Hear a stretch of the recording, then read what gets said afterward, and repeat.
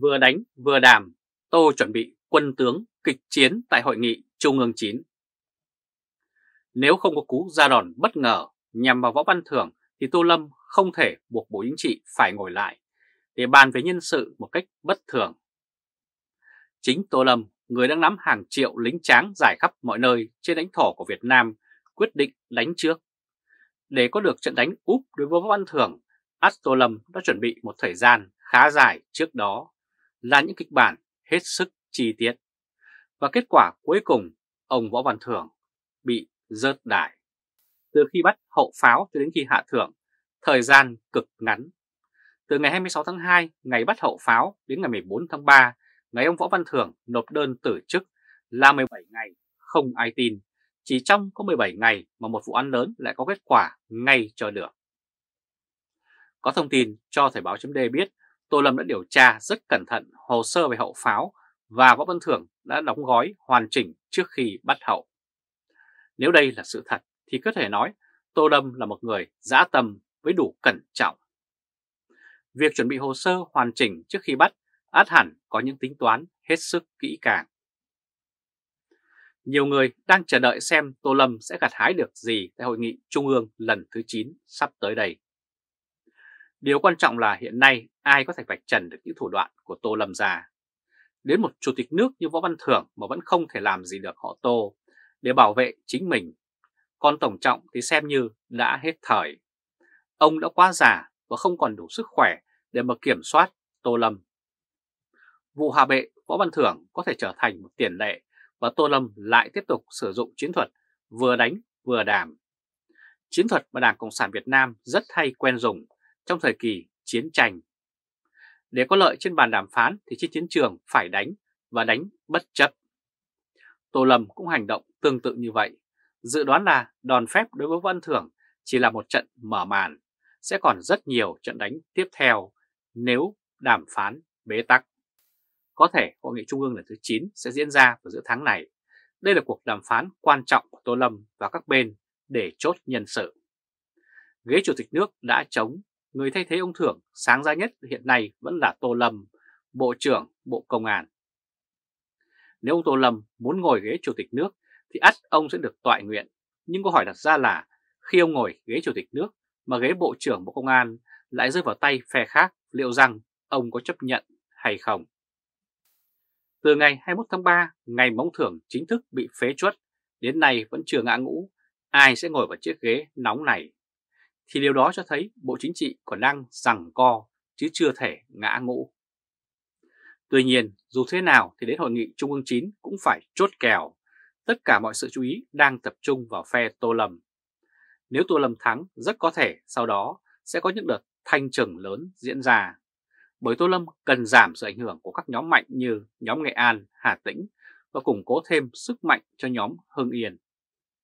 Nhưng nếu Tô Lâm thất thế thì vẫn có khả năng xảy ra thanh trừng. Tuy nhiên, nạn nhân lúc này là phe Tô Lâm. Khả năng thứ ba không có phe nào chiếm ưu thế tuyệt đối và cuộc chiến quyền lực rằng co suốt đến Đại hội Trung ương lần thứ 14. Bám ghế ba nhiệm kỳ, Nguyễn Phú Trọng đang thách thức lòng kiên nhẫn của Tô Lâm. Ông Nguyễn Phú Trọng đã 80 tuổi và nắm chức Tổng Bí thư ba nhiệm kỳ. Điều này trái hẳn với điều lệ của Đảng Cộng sản Việt Nam. Tuy bề ngoài các bên đều tỏ vẻ kính trọng ông, nhưng thật chất bên trong nhiều kẻ đã hết kiên nhẫn. Người đầu tiên cũng là người bộc lộ mất kiên nhẫn nhất chính là Tô Lâm. Khi ông Trọng không còn đủ sức để kiểm soát Bộ Công an, mà ông vẫn tham quyền cố vị thì rất có thể chính ông sẽ trở thành nạn nhân của những kẻ dưới tay ông. Ý đồ của Tô Lâm hiện nay là vậy, vây hãm Tổng Bí Thư, biến ông thành tù nhân và ngăn cản bất cứ ai có ý định ngồi vào chiếc ghế này. Khi Tô Lâm thành công cô lập được các bên, thì lúc đó ông Tổng sẽ không còn được yên ổn với thuộc hạ nữa. Quý vị các bạn vừa theo dõi chương trình truyền hình trực tiếp của Thời báo chấm với bản tin Vừa đánh vừa đàm, Tô chuẩn bị quân tướng kịch chiến tại hội nghị Trung ương lần thứ 9. Quý vị và các bạn hãy chia sẻ video này cho nhiều người biết và bấm nút theo dõi YouTube và Facebook của Thời báo chấm để luôn được cập nhật những bản tin mới nhất, nhanh nhất và trung thực nhất. Từ Berlin, Cộng hòa Liên bang Đức chào các bạn và hẹn gặp lại các bạn ở bản tin lần tới. Trung Khoa Thời báo chấm Phan Đình Trạc xông pha trận mạc để mà lót đường cho Huệ. Thông tin nội bộ dò dỉ cho biết ông Phan Đình Trạc sẽ thay ông Tô Lâm ngồi vào ghế Bộ trưởng Bộ Công an sau khi ông Tô Lâm rời ghế Bộ trưởng để ngồi vào chiếc ghế Chủ tịch nước. Nếu đây là sự thật thì có thể xem là thắng lợi của phe Nghệ An chứ không phải là thắng lợi cho cá nhân Phan Đình Trạc. Câu hỏi đặt ra là vì sao lại như vậy? Ông Tô Lâm nhất quyết hạ Võ Văn Thưởng để vào tứ trụ cũng vì ông muốn tránh né đi cái quy định về giới hạn tuổi trong Bộ Chính trị. Ông Tô Lâm năm nay đã 67 tuổi, nếu ngồi lại ghế Bộ trưởng đến hết nhiệm kỳ thì ông đã 69 tuổi, lúc đó ông buộc phải rút khỏi chính trường bởi giới hạn tuổi để ở lại Bộ Chính trị là không quá 65. Thông tin dò dỉ cho biết ông Phan Đình Trạc sẽ nắm Bộ Công an. Ông Trạc nay cũng đã 66 tuổi, đến năm 2026 ông Trạc cũng sẽ 68 tuổi.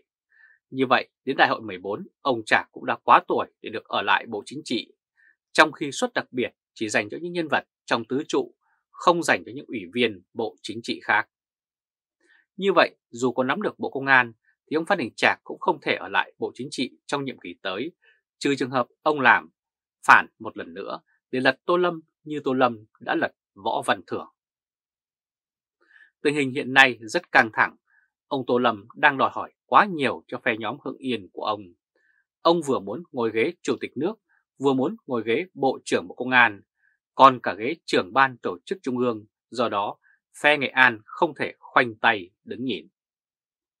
Và Phan Đình Trạc buộc phải nhảy ra tranh ghế Bộ trưởng Bộ Công an như là cách để chặn đứng đa tiến của Tô Lâm. Khi làm cho Tô Lâm yếu đi thì điều đó cũng có nghĩa là phe Nghệ An được an toàn, trong đó ông Vương Đình Huệ là người được hưởng lợi rất lớn. Như vậy, việc Phan Đình Trạc nhảy vào ghế Bộ trưởng Bộ Công an chỉ với mục đích lót đường cho Vương Đình Huệ, chứ không phải để cho bản thân ông ta tìm quyền lợi chính trị ở mầm tứ trụ. Vương Đình Huệ bằng tuổi Tô Lâm nhưng ông Huệ thuộc hàng tứ trụ nên hoàn toàn có thể được hưởng suất đặc biệt ở đại hội lần thứ 14 sau hơn một năm nữa. Nếu Phan Đình Trạc làm Bộ trưởng Bộ Công an, người hưởng lợi nhiều nhất là ông Vương Đình Huệ. Nhảy vào Bộ Công an, nhiệm vụ của Phan Đình Trạc rất nặng nề và khó khăn. Với 8 năm xây dựng vây cánh trong Bộ Công an, Tô Lâm đã tạo ra một bộ khung đủ tốt để hậu thuẫn cho ông.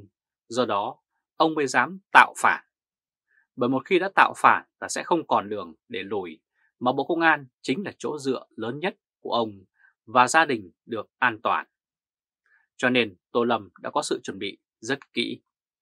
Phe ủng hộ Tô Lâm ngoài hai nhân vật bề nổi là Thượng tướng Thứ trưởng Lương Tăng Quang và Thượng tướng Thứ trưởng Nguyễn Duy Ngọc thì chỉ còn 63 giám đốc công an của 63 tỉnh thành. Có thể phe Nghệ An sẽ dùng áp lực từ Bộ Chính trị để đẩy Nguyễn Duy Ngọc ra khỏi Bộ Công an, nhưng không thể đẩy hết 63 ông giám đốc công an tỉnh được. Trong hơn một năm ngồi tạm ghế Bộ trưởng, Phan Đình Trạc cũng khó có thể chạm hết số tướng tá này. Hơn nữa, con trai ông Tô Lâm là Thượng tá Tô Long vẫn còn tại vị ở ghế Phó Cục trưởng Cục An ninh Đối ngoại A01. Ông Tô Lâm phải bố trí vây cánh để khi ông rời bộ, con ông vẫn an toàn. Cho nên sau khi ông Trạc nhảy vào Bộ Công an thì ông phải rất vất vả để hạn chế sức mạnh của phe Hưng Yên.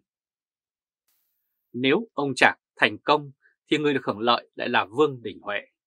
Hơn nữa, Bộ Công an là nơi có thể gây dựng quyền lực cứng nên phe nào cũng muốn nắm giữ lấy nó. Vì vậy, ông Phan Đình Trạc nếu ngồi vào ghế Bộ trưởng cũng sẽ không được yên với các phe phái khác trong đảng.